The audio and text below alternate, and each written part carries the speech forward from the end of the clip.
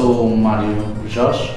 tenho 29 anos, sou da paróquia de Vila Cova de Carros Paredes. Estou a realizar um estágio pastoral na, na paróquia de Santo António das Antas. Desde pequeno sinto sempre aquela vontade de facto de ser padre, uh, contudo não sabia o que isso era, até que com 10 anos o meu pároco,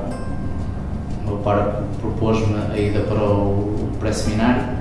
e eu então fui para o pré-seminário e redescobrir o que é que era isso ser padre e o que é que era isso a minha vocação sacerdotal. Depois fiz quatro anos de interno no seminário menor, à qual, eh, começando já a apontar algumas etapas que a minha vida passaria por ser sacerdote, eh, avancei para o seminário maior. Fiz cinco anos de seminário interno no seminário maior, contudo, ao fim desses cinco anos, uh, senti a necessidade, junto com a equipa formadora, de fazer um interregno de dois anos uh, para de facto assentar verdadeiramente se a minha vida passada. Ao viver no mundo e estar no mundo, trabalhar para poder também sobreviver, consegui entender e compreender que a minha vida passava por ser verdadeiramente sacerdote. E então, há três anos, regressei ao seminário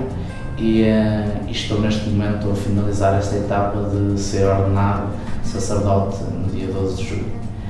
Para mim, ser padre, fundamentalmente, será dedicar-me uh, totalmente e doar a minha vida a Cristo,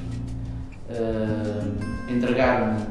àqueles que me vão ser confiados, às pessoas, ao povo de Deus e, uh, e fundamentalmente também entregar-me ao serviço da Igreja, sempre neste amor pleno, total a Cristo e à Igreja nesta dádiva sempre de entrega uh, da minha vida uh, fiel e responsável durante toda a minha vida.